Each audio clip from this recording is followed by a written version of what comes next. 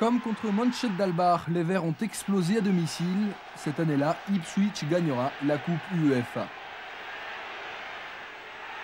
Pour l'Europe, la dernière grande page verte vient de s'écrire.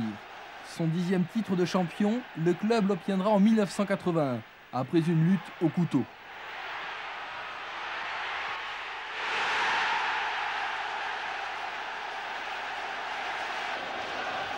Il lui faudra patienter jusqu'à la dernière journée pour obtenir enfin ce nouveau succès face aux Girondins de Bordeaux, eux-mêmes promis à une belle carrière en ce début des années 80.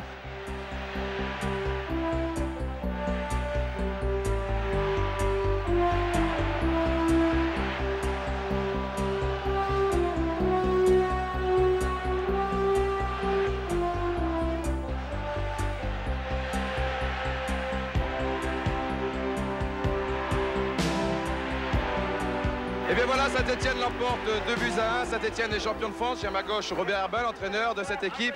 Christian Lucas, le capitaine, qui a gardé le maillot de Bordeaux, un maillot qu'il gardera aussi euh, dans ses souvenirs. Et Michel Platini, c'est votre premier titre. Et je crois que les dix dernières minutes de cette rencontre ont vraiment été très longues.